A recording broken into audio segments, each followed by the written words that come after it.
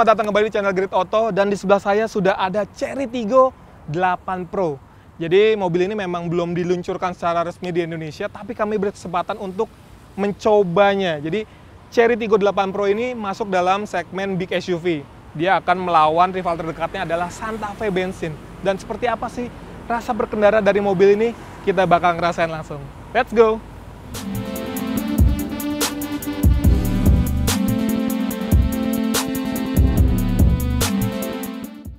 Tapi sebelum kita ngerasain seperti apa rasa berkendaranya, saya pengen informasi dulu sedikit mungkin ya teman-teman.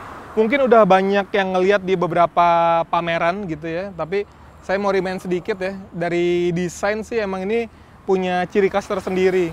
Dia jadi grillnya besar dengan dot chrome kayak gitu dengan logo Cherry di sini. Lalu lampunya juga sudah LED ya. Cuma emang di depan dia belum ada sensor parkir. Padahal kalau kita ngelihat ya, ini satu, dua, tiga, empat itu sudah ada titiknya cuma emang belum terpasang. Dan di sini dia ada radarnya. Jadi kalau teman-teman di sini tahu ada radar cruise control atau adaptive cruise control gitu ya. Dia radar, dia menggunakan radar. Jadi bukan pakai kamera dual cam kayak di beberapa mobil Jepang gitu ya. Tapi kalau kita lihat di atas itu ada kameranya juga fungsinya untuk uh, kayak collision warning atau emergency braking. Kita lihat ke samping roda dia pakai ukuran 18 dengan ban ukuran 235 55 R18. Nah, di sini sudah ada kamera ya teman-teman ya. Tadi di depan juga ada, artinya mobil ini sudah dilengkapi dengan fitur around view monitor. Lalu dia juga ada seperti roof rail, dan ini bukan pajangan kalau ini emang bisa digunakan ya. Oh ya, untuk buka pintu belakang atau bagasi, sebetulnya kita nggak usah mengayun-ngayunkan lagi, karena ketika kita udah pegang anak kuncinya, ngedeket aja, dia bakal otomatis terbuka harusnya ya. Cuma ini kok nggak mau ya. Sebentar ya. Nah, kalau lampunya udah nyala, ayo kebuka. Mundur. Kok nggak mau ya? Nah, kan akhirnya dia mau kebuka. Oke. Jadi lebih praktis ketika misalnya kita bawa barang gitu, biasa kan harus ngayun-ngayunkan lagi, tapi ini kita cukup eh, ngantongin anak kunci aja. Tapi di sini juga kita ada fitur eh, untuk nyalain mobil. Artinya misalnya kalau habis berjemur, kita mau ngademin kabinnya, kita tinggal nyalain mesinnya, lalu AC-nya dinyalain supaya ketika kita masuk, kabinnya udah adem. Dan seperti teman-teman lihat, di sini sudah tiga baris, artinya udah seven seater ya. Coba kalau teman-teman lihat ini untuk pelipatan bangkunya. Jadi pelipatan bangkunya itu dia 60-40. Cuman seperti halnya beberapa mobil Cina lainnya, dia belum di-convert nih. Setirnya udah di-convert ke kanan, tapi ininya belum nih. Mestinya nih kalau di Indonesia yang 40-nya ada di sebelah kiri ya. Oke, ini ada seperti cover untuk bagasi ketika misalnya jok baris ketiga dilipat, ini ada dudukannya ya. Tapi ketika misalnya butuh apa namanya penumpang hingga baris ketiga, ini bisa ditaruh di dalam sini. Jadi emang lebih rapi dan jadi lebih praktis. Di belakang ini juga ada blowernya teman-teman.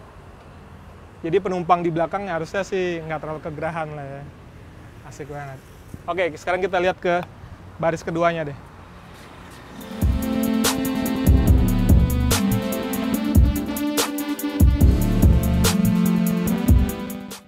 Di belakangnya, wah joknya bisa rebah banget ya duduknya. Nah ini bisa diatur sedemikian rupa sebetulnya. Dan benar teman-teman, jadi untuk pelipatan bangkunya yang ada di atas itu malah sebelah kanan. Sementara di sebelah kiri itu harus dari bagian bawah. Jadi emang nih masih belum di-convert nih. Nah, ini ada cup holder dan bisa berfungsi juga jadi armrest. Lalu di sini ada kisi-kisi AC untuk penumpang belakang sama port USB. Jadi bisa sambil ngecas lah ya. Ya nggak ada yang terlalu istimewa sih. Tapi kalau kita lihat ini si sunroofnya gede banget ya. Sampai ke belakang sini. Harusnya kita penumpang di belakang sih bisa mendapatkan experience yang sama gitu. Lebar banget. Oke, sekarang kita cek ke depan deh. Oh, ini ada fitur ini nih tadi diinfoin. Jadi kalau misalnya kita berhenti di pinggir jalan, terus kita mau buka pintu, sementara di belakang itu ada kendaraan, dia bakal aktif ngasih informasi. Jadi kita bisa aware dan misalnya kalau ada motor mau lewat gitu motornya jadi nggak jatuh kasihan juga kan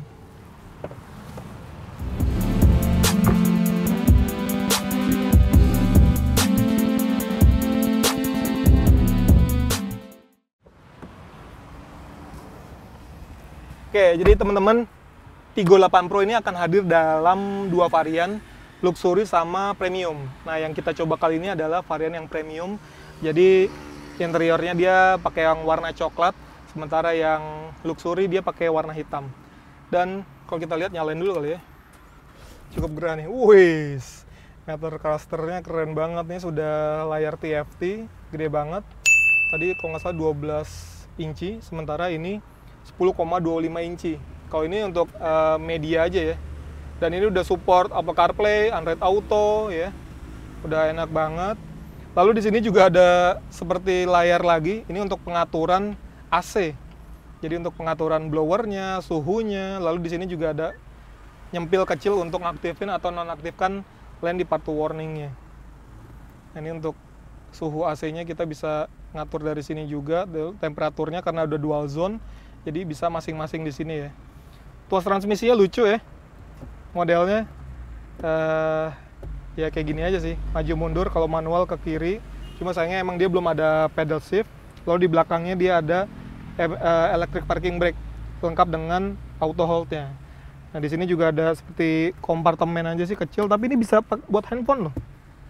Tuh misalnya mau taruh di sini itu bisa banget. Sama di sini ada kompartemen, ini juga bisa jadi semacam chiller box teman-teman. Tadi diinfokan kalau di sini suhunya dijaga sampai 15 derajat. Gitu. Jadi kalau mau bawa minuman-minuman supaya tetap dingin, itu bisa. Dan di kolongnya ini ini ada wireless charging ya. Di bagian bawah sama ada kompartemen lagi sih. Gitu. Jadi emang cukup lah untuk naro-naro dompet atau smartphone aja gitu ya kalau kita lihat di sisi kanan teman-teman ini ada beberapa fitur ya. Pertama ada tombol untuk buka bagasi belakang, lalu ada fitur uh, hill descent control, ada juga idling start stop ini untuk nonaktifin sih. Gitu. Jadi mesinnya juga udah punya fitur idling stop supaya efisiensi bahan bakarnya bisa lebih baik lagi.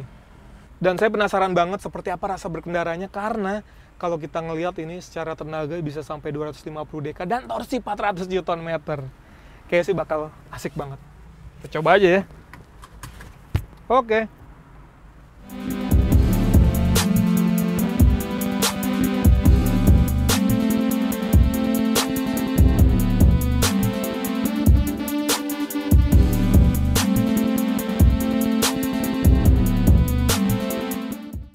Oke, hal pertama yang pengen saya kasih info ke teman-teman pertama adalah posisi duduknya.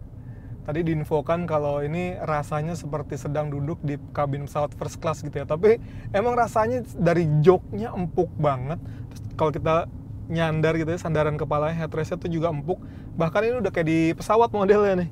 Ini bisa wingnya tuh bisa di apa namanya bisa ditekuk-tekuk. Jadi kita uh, palanya bisa bersandar dengan nyaman gitu ya dan kalau soal bantingan suspensi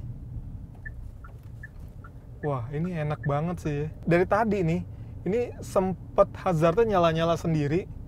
Ini ketika misalnya di depan ada objek ya, kalau di sini ke kebacanya motor, kalau sudah mendekat gitu, dia akan ngasih hazard secara otomatis nih.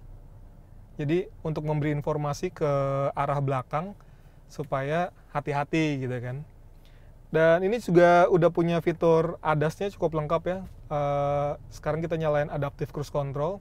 Nah ini udah bisa dari kecepatan rendah bahkan sampai berhenti pun bisa. Dan ketika misalnya sekarang nih dalam kondisi berhenti kalau kita misalnya mau jalan lagi kita tinggal injak pedal gasnya aja.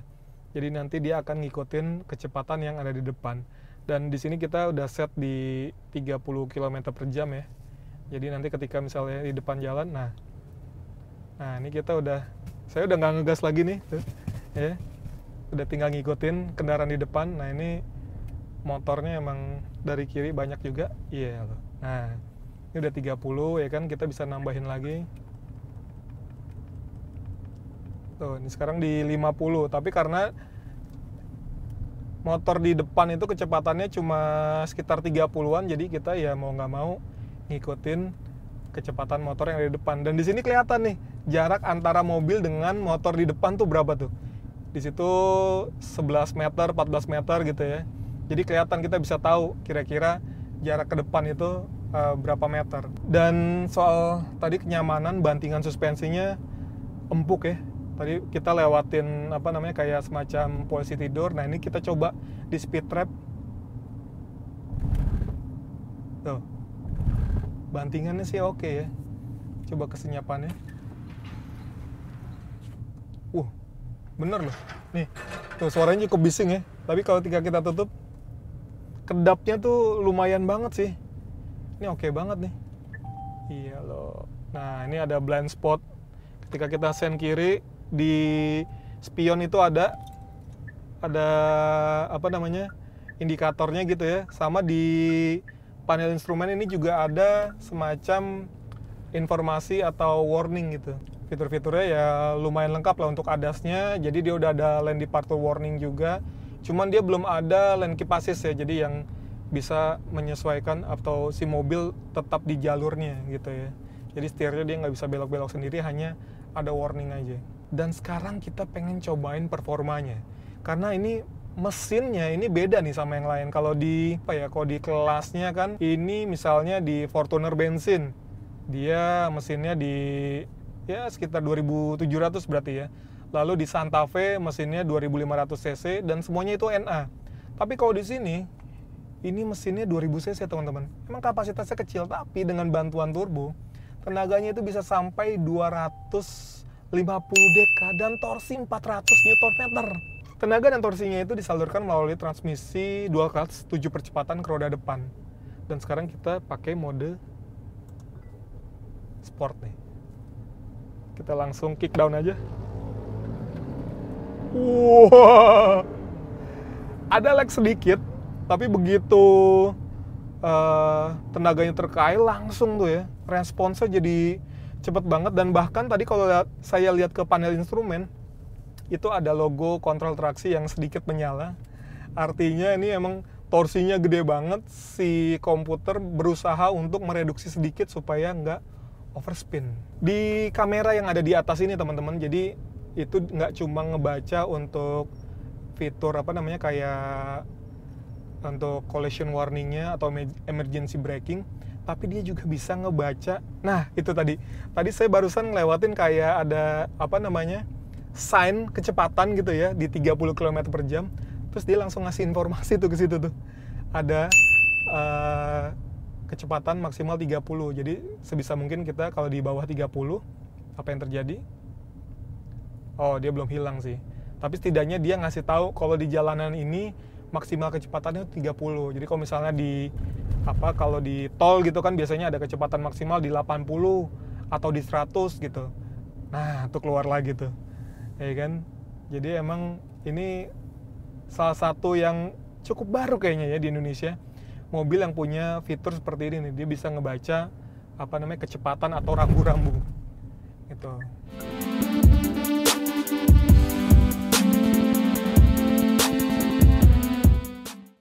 untuk putaran setirnya juga ringan banget ya karena udah pakai IPS jadi meskipun secara dimensi roda ini 18 inci tapi putarannya tetap enteng. Dan tenang aja kalau misalnya kita mau parkir atau tadi kita baru keluar dari parkiran gitu ya itu ada udah dilengkapi dengan AVM atau around view monitor. Jadi udah 360 derajat kameranya ada depan belakang kanan kiri. Udah enak banget sih jadi praktis. Meskipun secara dimensi mungkin mobilnya gede tapi kalau parkir harusnya dimudahkan sih.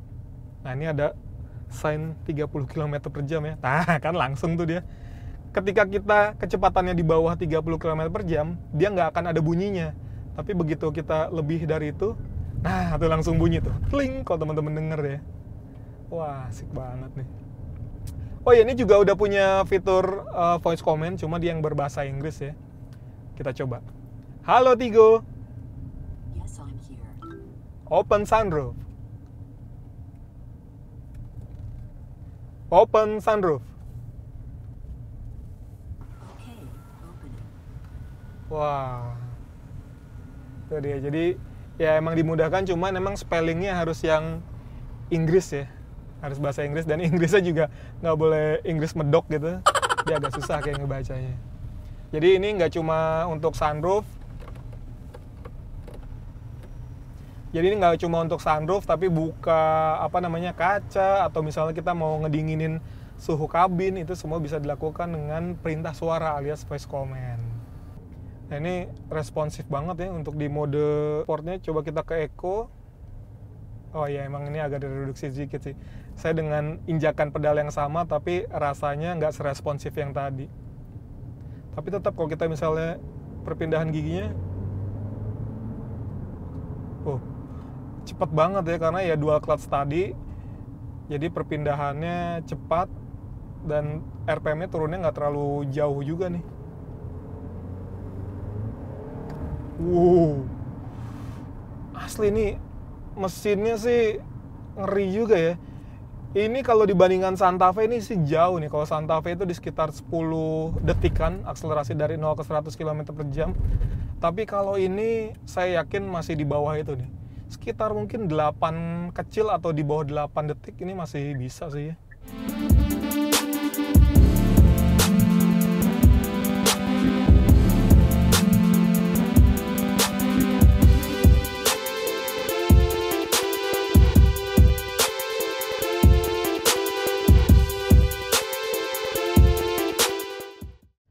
Teman-teman itu dia impresi awal saya berkendara bersama Tigo 8 Pro ya. Jadi emang ini mobil salah satu keunggulannya terutama ada di mesin. Mungkin kalau dibandingkan rivalnya fitur-fiturnya gitu ada yang mirip-mirip. Tapi dari sisi mesin ini sih juara banget nih dengan mesin yang hanya dari 2000 cc berkat bantuan turbo tenaganya bisa melonjak sampai 250 dk dan torsi 400 Nm. Ini udah mirip-mirip torsinya dengan mobil-mobil diesel gitu ya. Jadi yang memang cukup besar. Tapi sampai saat ini Cherry memang belum mengumumkan harga resminya. Tapi tadi sebagai gambaran mungkin ada di kisaran 550 juta. Tapi kalau misalnya harganya segitu, ini sih worth it banget. Cuma tinggal sekali lagi, brand Cherry itu kan sempat meninggalkan luka dalam lah untuk brand uh, lalunya ya. Tapi saat ini kan mereka sudah memberikan uh, kepercayaan misalnya dari garansi yang lebih panjang gitu ya, supaya uh, calon konsumen itu akhirnya berani untuk membeli sebuah mobil Cherry. Tapi sekali lagi, kalau dibandingkan sama rival, misalnya yang terdekat deh, dia udah uh, big SUV monocoque, artinya uh, FWD juga, itu kan head to headnya sama Santa Fe. Ini sih dari mesin jauh lebih unggul. Oke teman-teman, terima kasih sudah nonton video ini. Jangan lupa juga buat mampir-mampir ke Instagram kami di @anaktester_io. Oh ya, jangan lupa juga dong follow Instagram saya di @aresadityaputra. Terima kasih.